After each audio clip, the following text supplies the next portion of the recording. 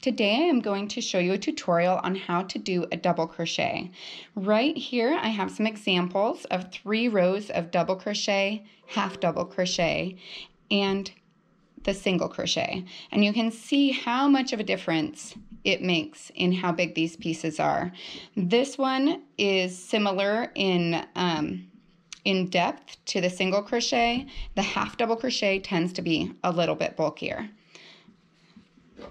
Okay, so now let's go ahead and get to the tutorial. What I've done in advance for this is I've done 10 chains and then two additional chains, which are my turning chains. So the way you start this is very similar to a half double crochet. You want to yarn over your hook, skip those first two chains, and go into the third chain from the hook. Yarn over, pull through the chain, yarn over, pull through two of the three loops, yarn over, and pull through the next two. Let me show you again. It's a little tricky. So yarn over, go through the base chain, yarn over, pull it through. Notice you have three here. Yarn over, you're going to pull through two of them, creating another one, and still having the first original one there. And then you'll yarn over and pull through both of those. So yarn over, go through the chain, yarn over, through two, yarn over, through two.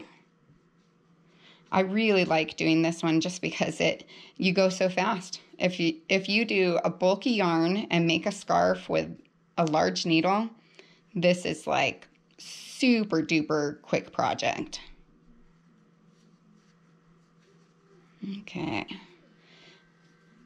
And that is actually something I like to do when I have a new a new stitch that I'm trying is do either washcloth or a scarf anything repetitive, a blanket, so that you really get that muscle memory and you get a feel for the new stitch.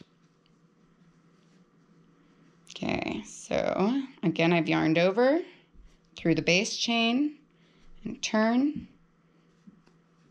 go through both, yarn over through the base chain, pull through, yarn over through two, yarn over through two, yarn over through the base chain, and just do it again.